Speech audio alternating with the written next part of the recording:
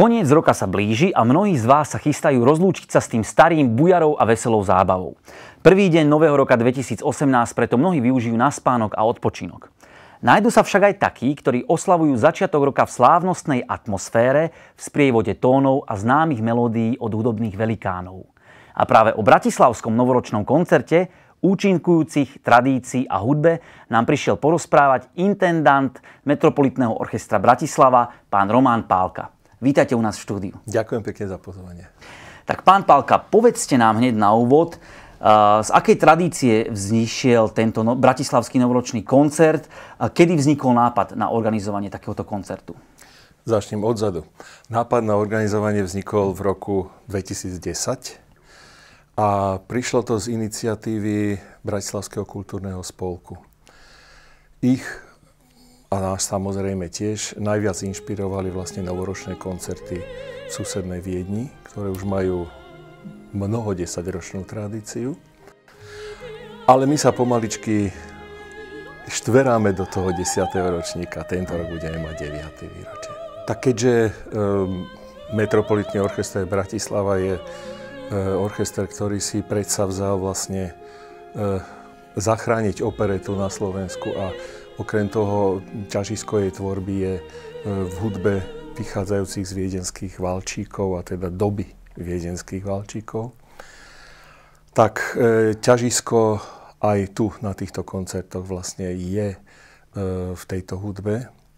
Ale keďže sme mali naozaj špičkových solistov, môžeme povedať z celého sveta, tak e, nevyhýbame sa ani opernej hudbe, a vôbec nehýbame, nevyhýbame sa ani inej krásnej muzike, ktorá bola kedy napísaná. A kto bude účinkovať na tom najbližšom, ktorý bude 1. januára?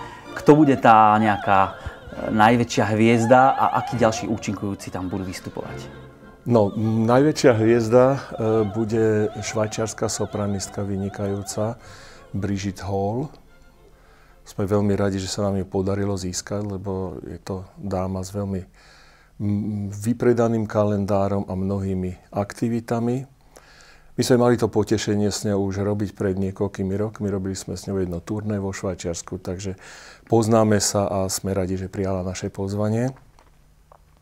Partnera je bude robiť Otto Klein, a mimo to sa ešte v solových e, skladbách sa predstaví ešte Peťo Uličný tiež a e, fagotista Stanislav Bicák. Veľmi sa na nich tešíme. A mňa by ešte zaujímalo, Metropolitný orchester Bratislava e, v podstate od začiatku tejto tradície je na týchto bratislavských novoročných koncertoch, ale vy poriadate koncerty e, každý mesiac. Viete nám povedať, aká bola tohtoročná sezóna, a čo plánujete na tú najbližšiu sezónu?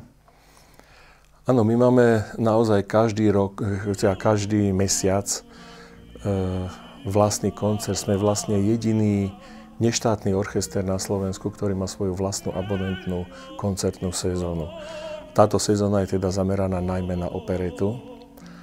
Spravidla sa koncerty konajú vždy tretiu nedelu v mesiaci e, v divadle Pavla Orsáka Hviezdoslava. A v tomto roku e, sme dosiahli to, že v podstate sme, možno povedať, v kúse vypredaní. Že e, vraj dobre sa chváli samo, tak sa musíme pochváliť, že máme naozaj plnú sálu a skonštatoval to aj e, náš dirigent posledno, na poslednom koncerte v decembrovom, e, čo bol šéf-dirigent e, z Ústi nad Labem pán Formáček hovorí, že toto on už nepamätá takto plné divadlo, ako sú na našich koncertoch. Mali sme tu všeličo, mali sme vynikajúcich solistov, mm, či už z Budapešti, e, zo Slovenska, z Čiech. E, ťažko povedať, ktorý koncert bol vrcholom, lebo v podstate sa zdalo, že každý z nich je vlastne vrcholom.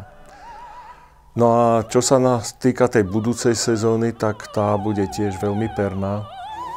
A Hneď e, by som rád upozornil na januárový koncert, ktorý bude 21. januára.